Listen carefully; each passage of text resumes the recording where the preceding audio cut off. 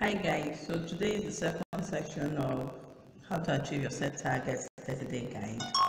Yesterday we laid the foundation, we talked about the first of the month, what you're meant to do, and I summarized it by saying first of every month you celebrate, you revamp and refresh.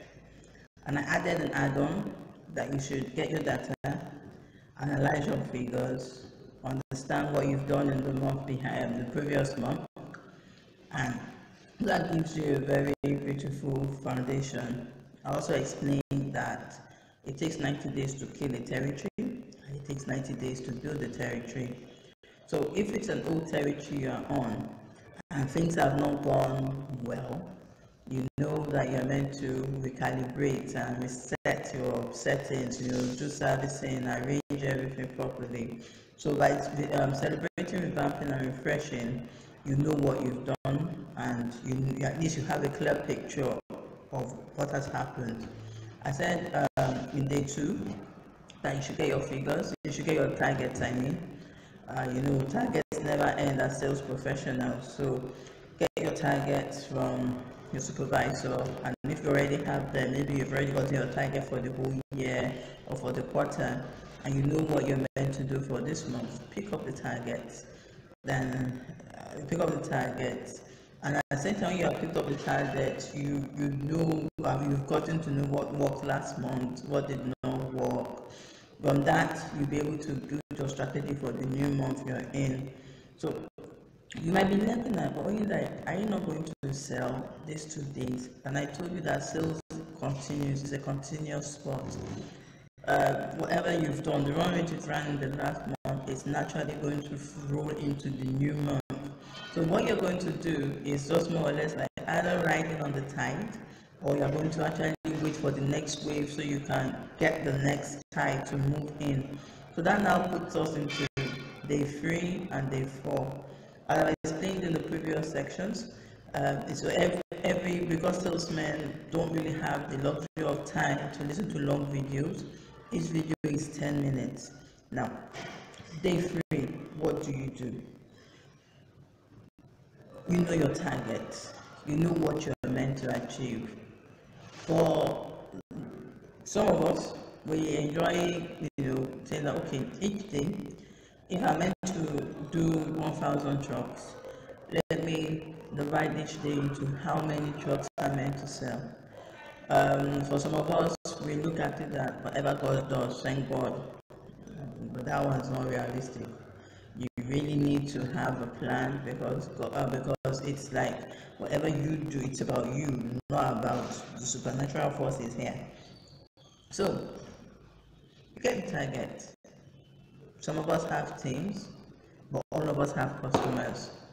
When you get targets, you don't just one bam slam on the on the customers on your team that this is the target, go and sell.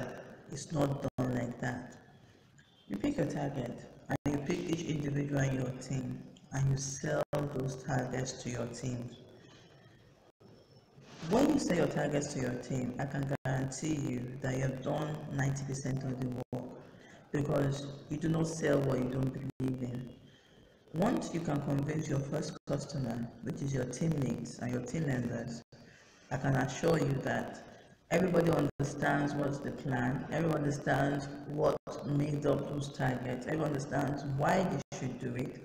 So once you have gotten, once you've done that successfully and you've sold your targets to your team, you'll be so surprised that the team will run with those targets. Same thing with customers. Now, why should a customer do what you want them to do? Targets are your targets, not their targets. Everybody has a different reason for buying. Some buy just to make profit, some buy because of prestige, some buy because um, the, a part of the portfolio they have in their shop or in their stores. But so how do you say your targets to your customers? Yes, and, and that's a different course on its own, but just to summarize it all, understand what the customer needs and align your targets to the customer needs. Once the customer understands why he should do the target, he will do the target. So but we'll go into another section on how to sell to your customer, how to sell to your team members on a later day. Right.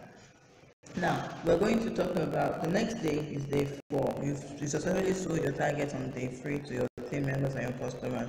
Let's not forget, our sales are still going on because sales is on autopilot. Now, this is where the action gets dirty. How now on day four, you work with your team and work with your customers to achieving this target you have set for them. There's one favorite phrase I learned in the middle of my career, and that was show and tell. If you just tell people, go and do, go and do, go and do, guy, one day they'll be rebellion. They'll be like, every time, God just sending us. What, what does God do?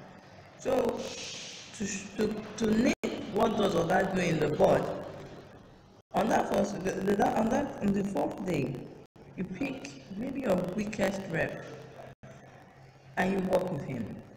You walk the field with him. You show him this is how you achieve your target. This is how you go about it. You go to the customers, your most difficult customer is who you should start with, not the easiest one. Because once you sort out the most difficult one, the easy ones will show surely fall into line. So you just go, you go to your weakest rep, you work with your most difficult customer on day four, and show them that these targets are possible. Now, let's give an example. You go to customer Abisoye. Okay. Customer Abisoye doesn't like you. And you too, you're just managing customer Abisoye. Customer Abisoye is that typical customer that always has a complaint. And unfortunately, customer Abisoye contributes less than 5% of your volumes. We know that Pareto's formula tells us that 20% of our customers give us 80% of our volumes. However, if you manage the other 80%, you can get growth from the other 80% that just give you 10% of your volume. So I always look at it that I like starting from that difficult one first because if I do the difficult one first, that's the worst I can see for the whole month. So now that my morale is still high and there's still some money in the bank, let me just, you know, go and face that demon once and for all. So I get to customer Abisoye and and, and with my weekends rep. The weekends rep knows that nobody likes customer Abisoye but I'm also trying to boost the confidence level of my weekends rep. Customer Abisoye comes and says, hey, you have come again for while. What can I do for you?